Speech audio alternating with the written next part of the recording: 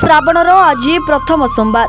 ରାଜ୍ୟର ବିଭିନ୍ନ ଶୈବପୀଠମାନଙ୍କରେ ଜଳ ଅଭିଷେକ କରିଛନ୍ତି କାଉଡ଼ିଆମାନେ। ଶତାଧିକ ଭୋଲବମ୍ ଭକ୍ତ ଦେବଦେବ ମହାଦେବଙ୍କୁ ଜଳାଭିଷେକ କରୁଛନ୍ତି। ଭୋଲବମ୍ ନାରାରେ କମ୍ପୁଛି ମନ୍ଦିର ପରିସର। ଅଧିକାଂଶ ପୀଠରେ ଗତକାଲିଠୁ ଅନେକ କାଉଡ଼ିଆ ପହଞ୍ଚି ସାରିଛନ୍ତି। ଶ୍ରାବଣର ପହିଲି ସକାଳରେ ମହାଦେବଙ୍କୁ ଜଳ ଲାଗି କରିଛନ୍ତି କାଉଡ଼ିଆ। ମନ୍ଦିର ମାଳିନୀ କ୍ଷେତ୍ରର ବିଭିନ୍ନ ମନ୍ଦିରରେ ଭିଡ଼। ସେହିପରି ଶ୍ରାବଣ ପ୍ରଥମ ସୋମବାରରେ ଗୋକନେଶ୍ୱର ଶ୍ୟାମାକାଳୀ ବୋଲବମ୍ ସଂଘ ନୂଆ ବସ୍ଷ୍ଟାଣ୍ଡ ତରଫରୁ ଗଞ୍ଜା ନଦୀଠାରୁ ସିନ୍ଦୁରପୁର ସ୍ଥିତ ଋଷି ଶୃଙ୍ଗ ପର୍ବତରେ କାଉଡ଼ିଆମାନେ ଜଳ ଅଭିଷେକ କରିଛନ୍ତି।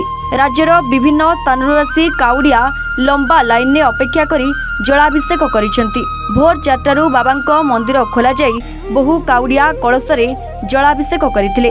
ଗଞ୍ଜାମରୁ ଜଗନ୍ନାଥ ସାହୁଙ୍କ ରିପୋର୍ଟ ଏୱାନ୍ ଓଡ଼ିଶା।